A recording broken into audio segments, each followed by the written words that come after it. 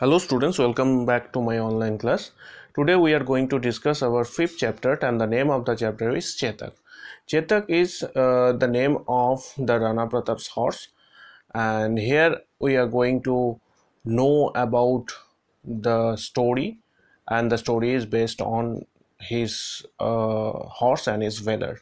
So I will suggest to go through the uh, text after listening the summary of the story. Here i am going to discuss the summary of the story so that you can understand the theme and the entire story very nicely.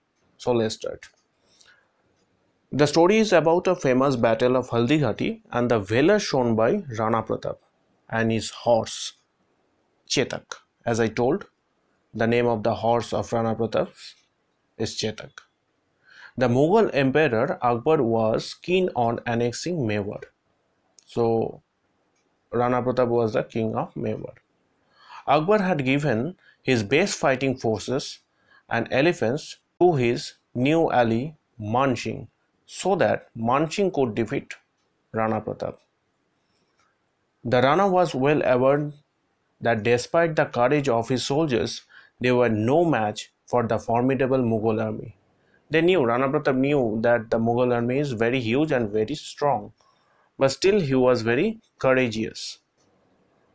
His only hope was to launch a surprise attack on the army at the narrow pass of Haldighati. He decided to attack all of a sudden in the narrow passes of Haldighati. The story also narrates some conversations among the Rajput soldiers which show their admiration for the Rana and speak of the love which the Rana had for his faithful warhorse Chetak.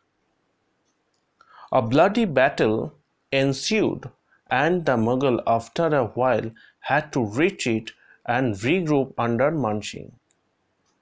Although he knew that victory was almost impossible, the Rana ordered Chetak to charge on. Despite exhaustion and injury and tiredness, Chetak, the horse, faithfully followed his master's order and charged straight at Man Singh and his elephant. Chetak even managed to hit the giant tusker on his head. The enraged tusker swung away and injured Chetak.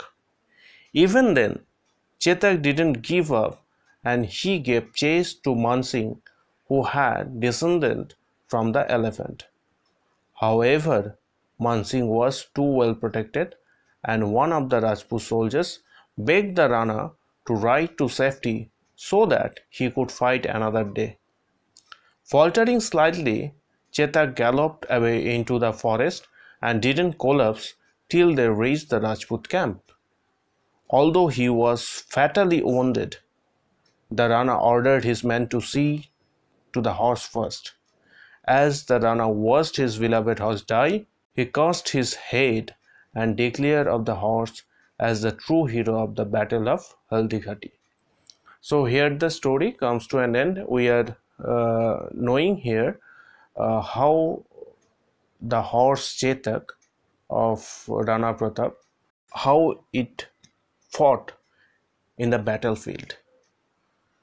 So I hope you understood the story or rather I can say the summary of the story. You must go through uh, the entire story to understand it nicely. So this much for today. Thank you.